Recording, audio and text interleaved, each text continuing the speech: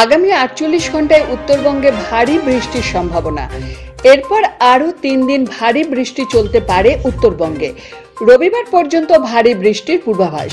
কোচবিহার এবং আলিপুরদুয়ার কিছুটা জলপাইগুড়ি জেলায় অতি বৃষ্টির সতর্কতা। দার্জিলিং, কালিম্পং সহ বাকি জেলাতেও ভারী বৃষ্টির সম্ভাবনা। দার্জিলিং, কালিম্পং সহ পার্বত্য এলাকায় ধস নামার আশঙ্কা। উত্তরবঙ্গের নদীর জলস্তর বাড়তে পারে। নিচু এলাকা প্লাবিত হওয়ার আশঙ্কা, শস্যের ক্ষতি হওয়ার আশঙ্কা। অতিবৃষ্টির কারণে দৃশ্যমানতা কমতে পারে উত্তরবঙ্গে। দক্ষিণবঙ্গে দুর্বল মৌসুমী বায়ু। আগামী দুই থেকে তিন দিনের মধ্যে মৌসুমী বায়ু ঢুকতে পারে দক্ষিণবঙ্গেও। কলকাতায় মৌসুমী বায়ু এগারোই জুন ঢোকার কথা। আগামী কয়েকদিন বজ্র বিদ্যুৎ সহ বৃষ্টির পূর্বাভাস। উত্তরবঙ্গে অক্ষরেখা সক্রিয়। দক্ষিণ পশ্চিম বাতাসে ভর করে প্রচুর জলীয় বাষ্প ঢুকছে উত্তরবঙ্গ উত্তর পূর্ব ভারতে। এই কারণেই মৌসুমী বায়ু ধীর গতি দক্ষিণবঙ্গের দিকে। তবে অনুকূল পরিস্থিতি তৈরি হচ্ছে আগামী দুই থেকে তিন দিনের মধ্যেই দক্ষিণবঙ্গে বর্ষা। ভিডিও রিপোর্ট, জেন উত্তরবঙ্গে কিন্তু সব জায়গাতেই খুব ভালো বৃষ্টি হয়েছে।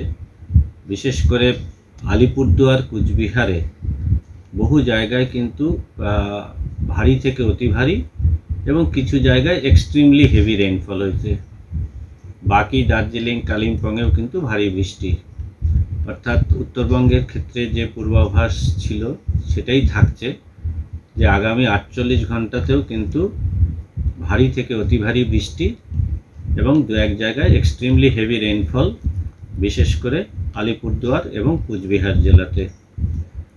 তিন দিন পরেও কিন্তু বৃষ্টি চলবে, মূলত ভারী বৃষ্টি চলবে উত্তরবঙ্গের উপরের পাঁচটি জেলাতে। ফলে গত তিন চার দিন ধরে মোটামুটি ভারী, অতি ভারী বৃষ্টি হচ্ছে এবং আগামী আরও দু তিন দিন ভারী থেকে অতি ভারী বৃষ্টির সম্ভাবনা থাকছে উত্তরবঙ্গে। ও টু পাবলিক স্কুল উন্নত সর্বাধুনিক পরিকাঠামো সমন্বিত আদর্শ আবাসিক বিদ্যালয়। পঞ্চম থেকে দ্বাদশ শ্রেণি পর্যন্ত সুদক্ষ শিক্ষক দ্বারা পঠন পাঠনের ব্যবস্থা রয়েছে। ছাত্র ছাত্রীদের জন্য পৃথক ক্যাম্পাস। মুর্শিদাবাদে ধুলিয়ান ও উমরপুরে অবস্থিত ও টু পাবলিক স্কুলে তিনটি ক্যাম্পাসে জাতি ধর্ম নির্বিশেষে সকল ছাত্রছাত্রীদের ভর্তি নেওয়া হয়।